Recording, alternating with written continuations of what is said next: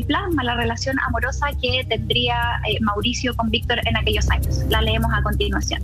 Dice, yo cuando los vi juntos, súper bien, se hacían harto cariños, nunca vi nada, que se levantaran la mano, no, nunca. Se notaba que Mauricio estaba más enamorado sobre todo. Esto lo dice Jorge, un amigo de Mauricio Ortega. Ahí tenemos como fuente TVN.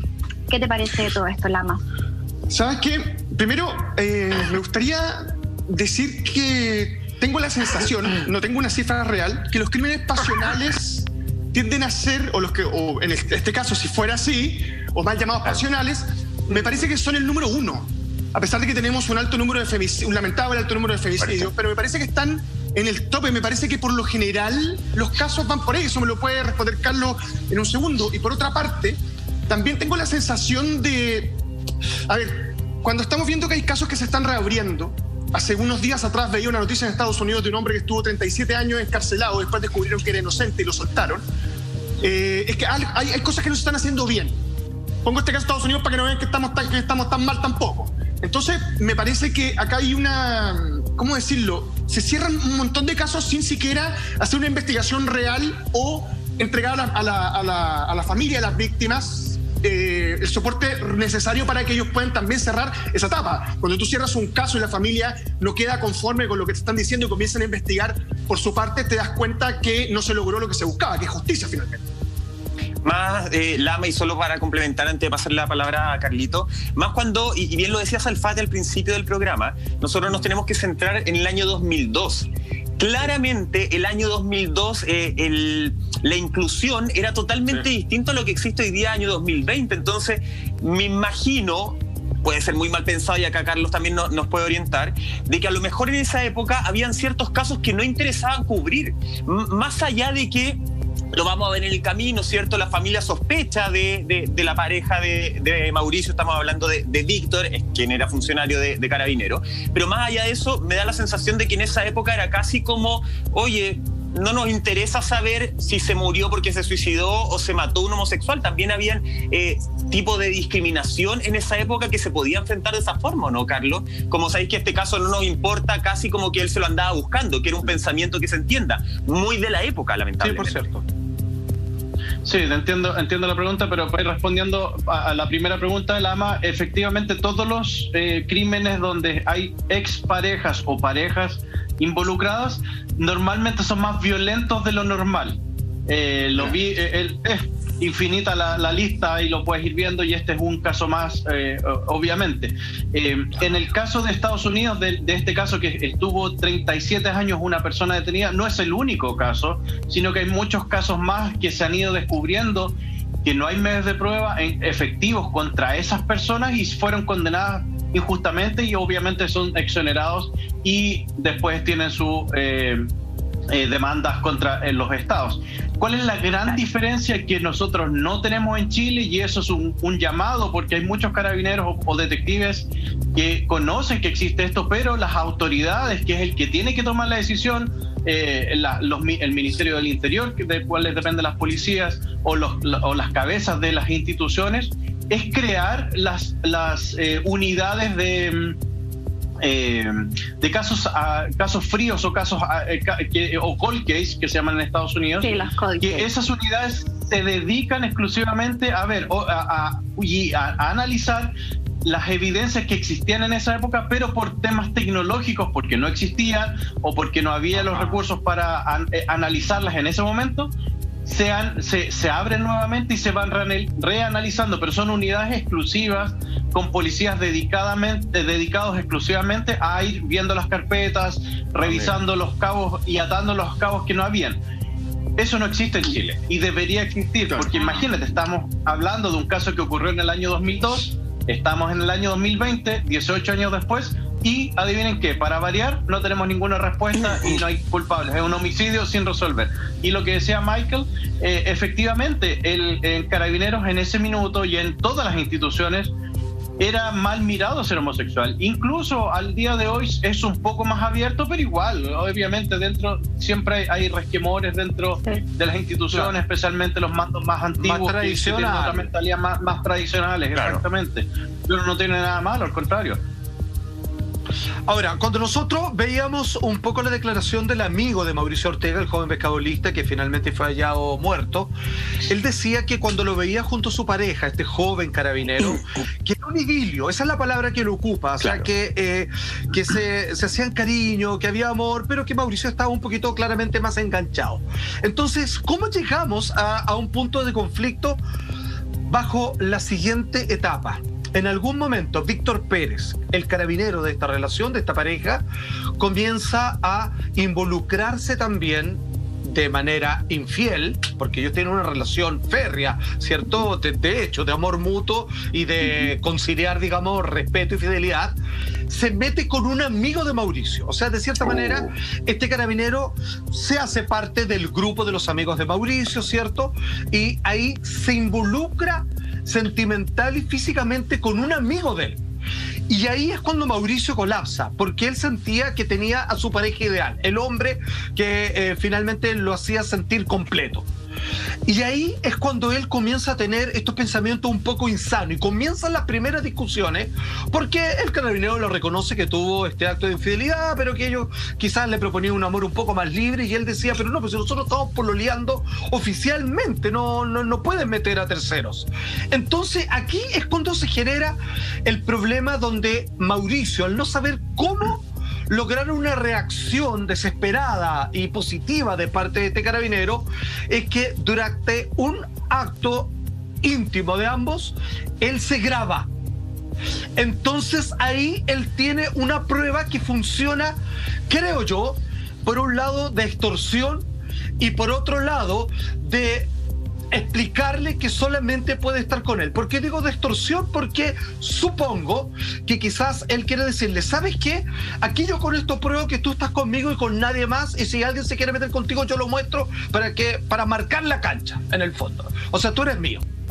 Y por otro lado, para de cierta manera, desesperada y equivocadamente, quizás explicarle, fíjate que yo te quiero tanto que soy capaz de hacer lo siguiente. Tenemos una gráfica al respecto de lo que dice un amigo Mauricio más, Jaime Muñoz, que dice, tú entregas dice sobre este video íntimo, tú entregas estos videos, me dijo, pero en dos años más, si me pasa algo, los entregas. Vale decir, Mauricio entiende que existe la posibilidad, Monty, de que él puede reaccionar bien y considerar esto un acto de amor o un acto de extorsión y que ahí la cosa se puede complicar probablemente Mauricio conociendo el temperamento y las posibles acciones futuras de este joven carabinero, ¿cierto? Víctor Pérez.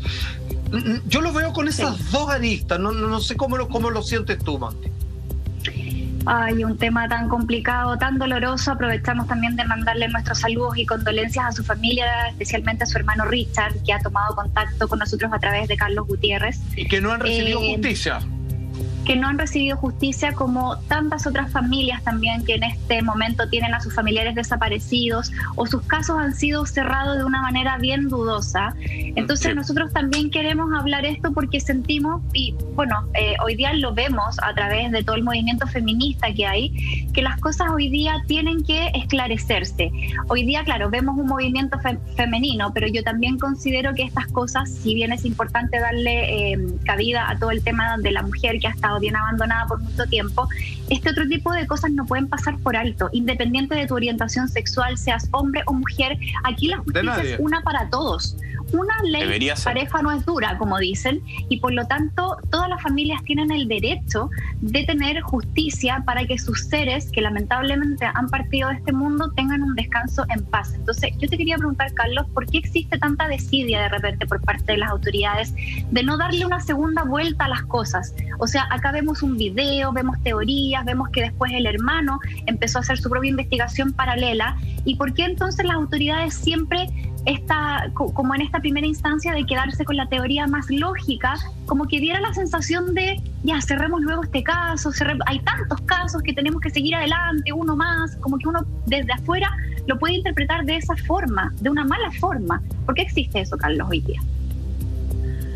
Lo extraño acá, tal como tú lo dijiste, el hermano, don Richard Ortega, que es una persona muy fuerte, que le aprovecho por supuesto a mandar los saludos, los conozco personalmente. Él, él ha, navegado y ha trabajado solo durante 18 años junto a su familia. Su madre falleció, la madre de Mauricio, de, Richard y de su hermana Lorena, falleció esperando justicia, falleció hace un, par de meses atrás. Y nunca pudo ver el culpable del asesinato de su hijo tras las rejas. Y de hecho es más, recordemos que este caso fue tipificado en primera instancia como un suicidio y finalmente las pruebas que reunió su hermano, nuevamente volvemos a lo mismo, la justicia o las policías no hacen su trabajo, sino que es una familiar directo de la víctima.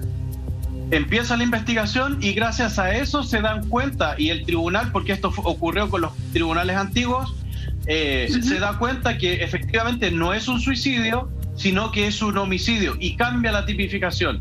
Y lamentablemente...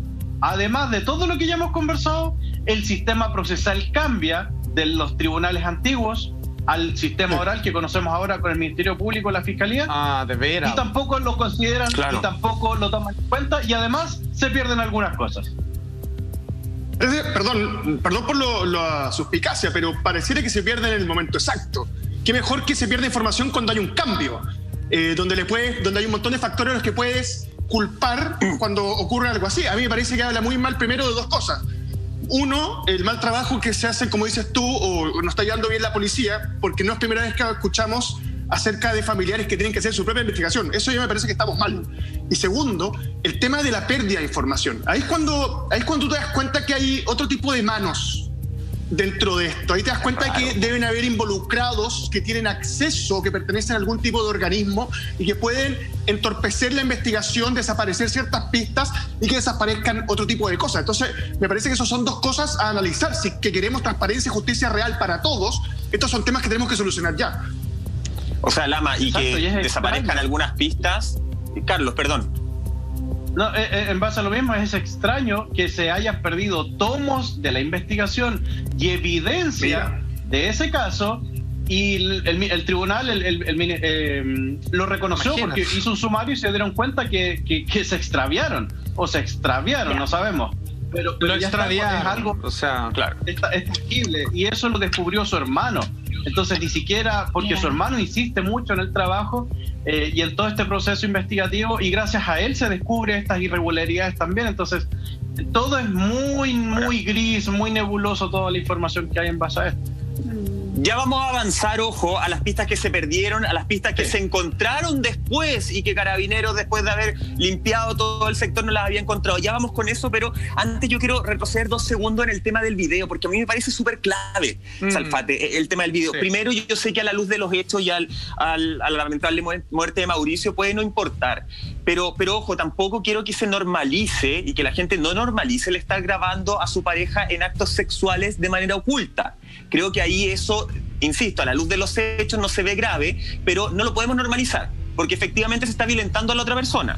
Ahora, yo sí me, cuestiono Salfate, porque en el video, y de hecho hay un reportaje de, del matinal de televisión del año 2016 donde ponen ciertos extractos de este video, donde por ejemplo se muestra que él cuenta que vivieron juntos, que era una relación súper grande, súper importante, como medio de prueba mostraba un, peluche que se llamaba Víctor, mostraba la luma de Víctor, de hecho, y después procedía a grabar un encuentro íntimo.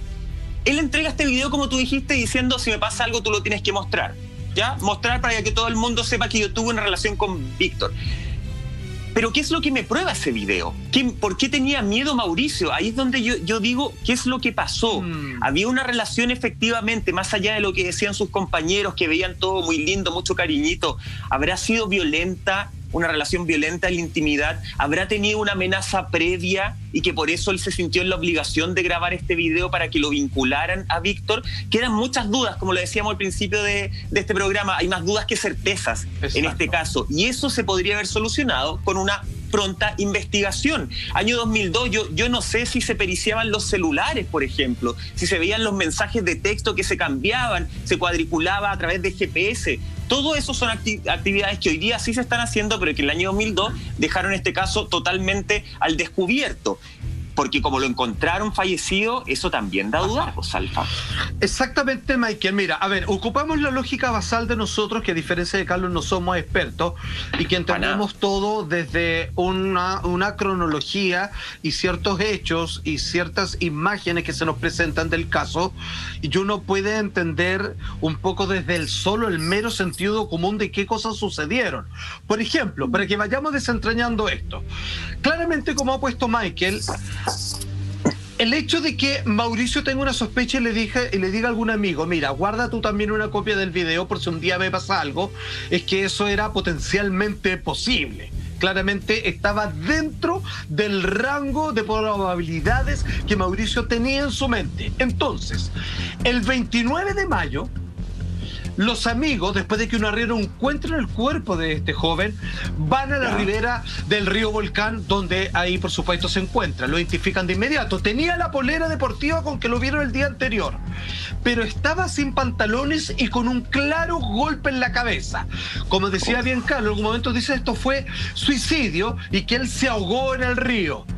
Perdón, él se encuentra con muy poca eh, fuerza de corriente en aquella época, como es característico en invierno, fue encontrado dos metros a la orilla del río y en altura, y en altura. Tenemos la fotografía, sí, podemos revisar, que finalmente Carlos, a partir del hermano, obviamente de Mauricio, nos lo hizo llegar y lo podemos ver ahí, obviamente, donde se ve el caudal del río, perdónenme, o sea... Eso es un hilo de agua. O sea, claro, o sea, ni, ni queriendo ahogarse, Dios, perdóname, o sea, lo que estoy viendo como cualquier eh, mortal común se hubiese podido. Entonces, es ahí cuando Richard, el hermano de Mauricio, comienza, digamos, cierto, la pesquisa porque esto no obedece ninguna lógica. Y aquí quiero citarlo. Esto es lo que piensa Richard.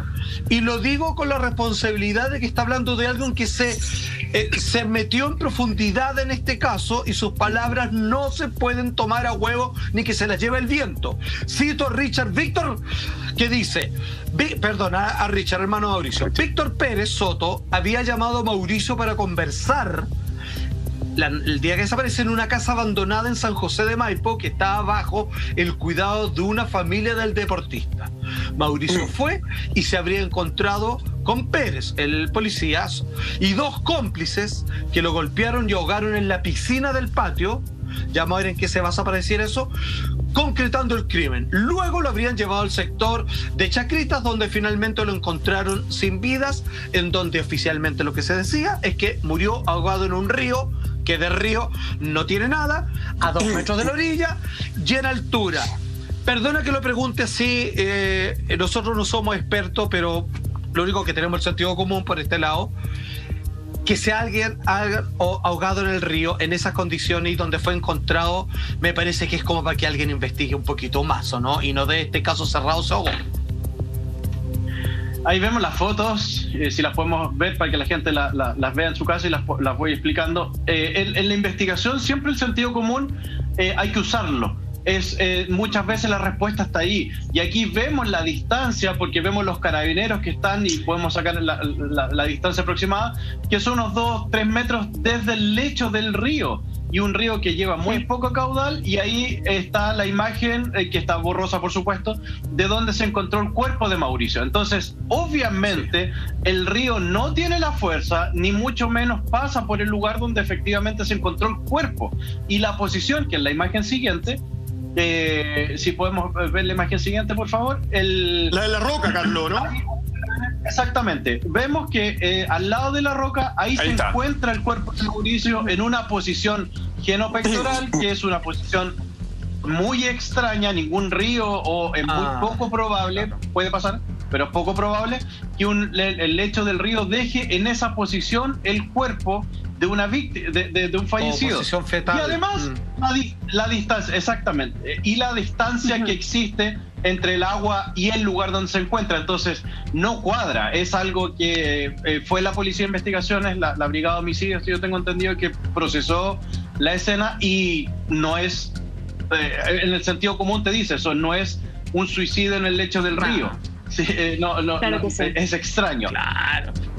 Sí, es que a mí no me deja de llamar la atención el presentimiento que tenía Mauricio horas previas eh, y días previos también antes de fallecer. Él recibe esta llamada, eh, él le dice a su amiga, él recibe la llamada frente a esta amiga, esta llamada no fue una llamada cómoda, él se sentía inquieto, a él lo citaron a, una, a un encuentro, a una reunión al cual él no quería ir. Después de esa llamada, él queda muy angustiado, entonces él ya sabía que algo, algo podría pasar, o sea, su sentimiento terminó lamentablemente siendo bastante certero. Lo otro también que le llama mucho la atención a la familia es que el cuerpo fue encontrado 24 horas después, o sea, fue un hallazgo relativamente rápido.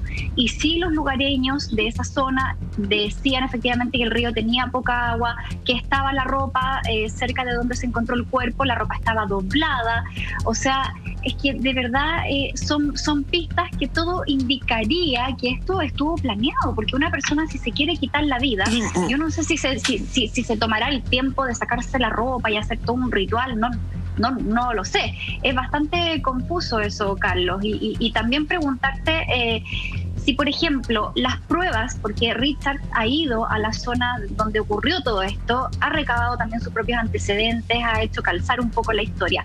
¿Las pruebas que pueda reunir la familia son válidas frente a la fiscalía, por ejemplo? ¿Se consideran dentro de la investigación? ¿Tienen peso? Eh, evidentemente, si ellos declaran y él declara como testigo en el, en el caso, la, fiscalía tiene que considerarlo y por supuesto tiene que pedir la, la, ayuda de algún experto o si la familia cuenta con un experto también eh, generar esta especie de reporte, pero la policía debería evaluar todo lo que está diciendo y ver todas las posibilidades, porque todo lo que él habla y todo lo que él indica es dentro del sentido común eh, nos coincidiría dentro del proceso investigativo, eh, pero ¿por qué lo hace la familia? ¿Por qué no lo hizo la policía? Si eso es lo extraño. Y vemos que en, el año 2002 y seguimos con lo mismo en el 2020 y las familias siguen haciendo su investigación. Sí, y en, esa época se, se, triangulaban las llamadas. Me quedo dando vuelta a lo que decía Michael. Sí, recordemos que los smartphones, eh, los que el, primer smartphone que hay, que como los conocemos ahora es el, iPhone, eh, recién sale en marzo en Estados Unidos, recién es lanzado en marzo del 2007 y estamos hablando del 2002. No existían, no existían los, los smartphones como los conocemos ahora. Habían recién algunos teléfonos celulares, pero sí se, se podía, era más fácil de, de rastrear llamadas el, el tráfico de llamadas, básicamente. Entonces, si tú, porque eran casi todos teléfonos de casa y eran un par de teléfonos celulares que existían, eran mucho menos que lo que hay ahora, pero sí, en la carpeta de investigación hay un tráfico de llamadas entre eh, Mauricio y eh, Víctor. E, eso, eso está registrado y de hecho lo ubica en la comisaría donde él trabajaba. Claro, ahora hay, hay, a ver, me parece que es complejo el tema de, la, de las pistas porque pareciera ser que se, se ensució todo para, para, no poder llegar a un punto final. A mí me parece que, como decía anteriormente, la teoría que tiene el hermano es bastante, suena bastante bien. Eh, también habla mucho eh, de la improvisación que hay acá, porque, a ver, acá se nota que no hay profesionales detrás, porque si fuera el trabajo de otro tipo de personas no quedarían tantos cabos sueltos, por un lado. Por otro, eh, cuando tú eh, pues, vas improvisando en este tipo de cosas, porque parece que está todo muy improvisado, da lo mismo que lo improvises o, las pruebas que dejes total, cuando tú estás a cargo, es difícil que alguien pueda pasar por encima tuyo. No sé si se entiende lo que quiero decir. Yo sé que lo vamos a nombrar más adelante algunas de las cosas, pero eh, un par de meses después o un tiempo después se encontró incluso una gorra de, de, un carabinero en el lugar de los hechos. Entonces, me parece que da lo mismo que dejes un montón de cabos sueltos cuando finalmente a ti te toca ser quien decide y quién ve, y quién ve si esto fue un crimen o no. O sea, de hecho, Lama, hay, hay otros antecedentes. El caso de D'Angelo, el policía, el que era policía y él mismo investigaba, él no dejaba pistas. Complementando lo que decía Lama. Entonces, para hacer eso hay que saber. Ah.